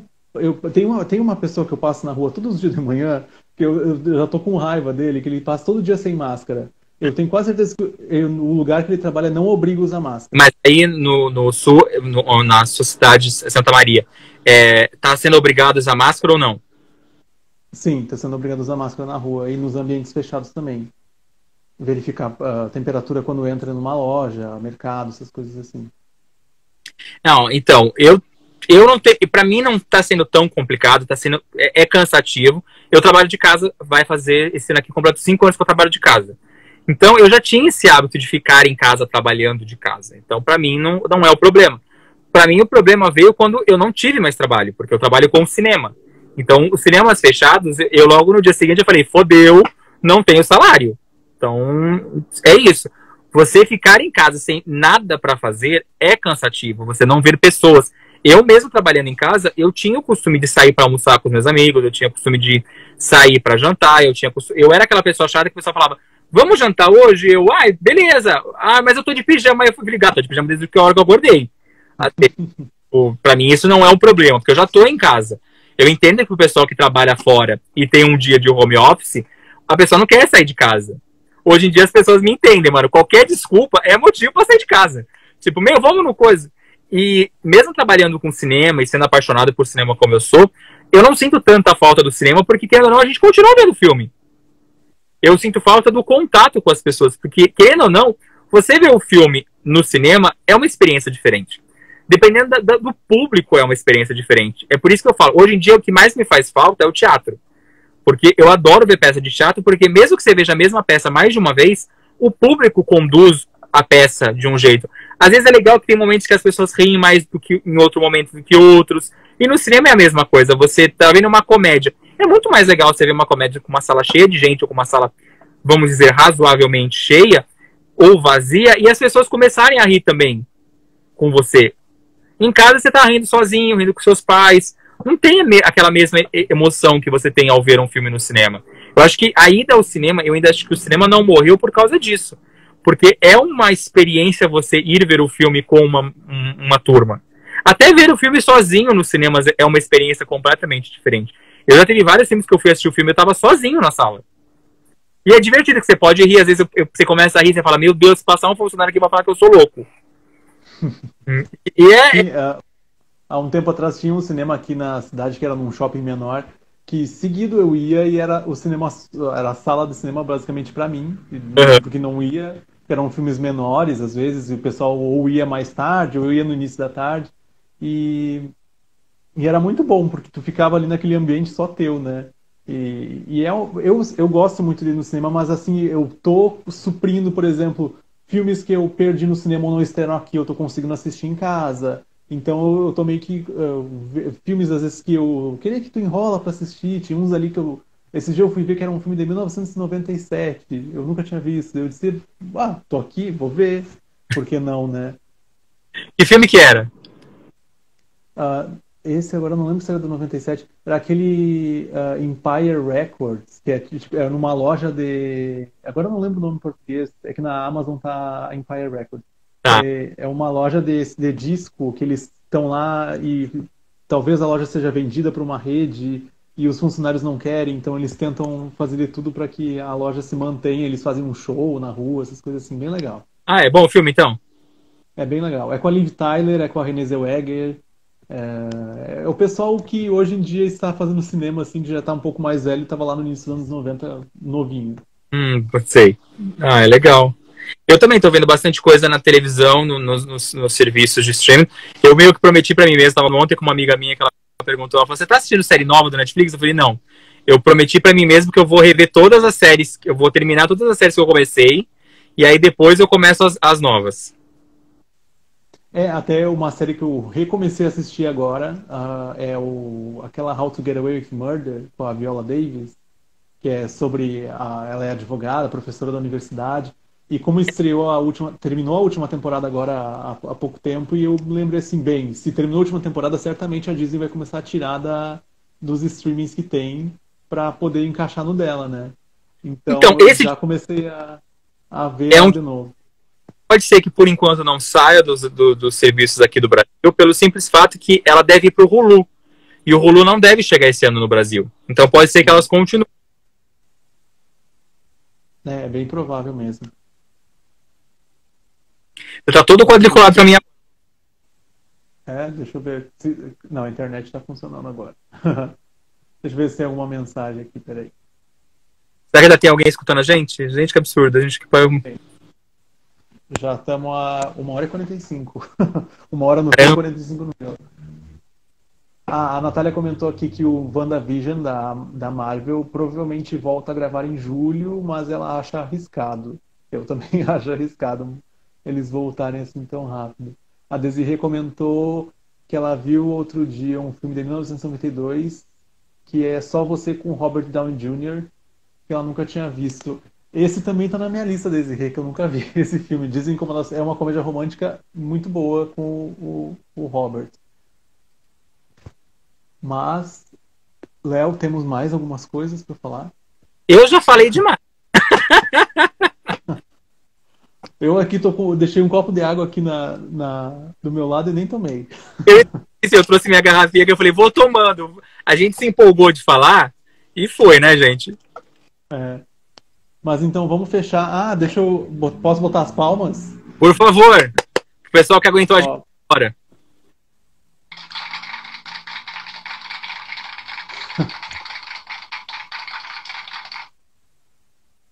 É isso. Obrigado, Léo. Obrigado você, meu amigo, por ter batido esse papo comigo. Espero que o pessoal que aguentou até agora tenha curtido também, né? E, e só para avisar que a primeira parte está lá no perfil do Léo, no IGTV do Léo. Essa daqui eu vou deixar salvo aqui e depois eu vou tentar baixar os dois e editar para botar no YouTube, alguma coisa assim. Me fala se dá para fazer isso, porque eu não, eu não sei mexer nessas coisas. Eu queria muito ver depois de também transferir para o YouTube do meu canal, alguma coisa assim, que eu tô querendo voltar pro meu canal. Semana que vem, se tudo tá, der... eu, eu vou fazer uns testes e vou te avisando. Por... O Lúcio tá me ajudando aqui com as artes, com as coisas bonitinhas, porque eu sou uma desgraça. Jornalista só sei escrever, gente. É a vida. É isso, gente. Muito obrigado por quem acompanhou. Não esquece que vocês podem rever nos IGTVs meus e do Léo. E até a próxima. Tchau, Léo. Boa noite para você. Obrigado. Pra ti também. Tchau.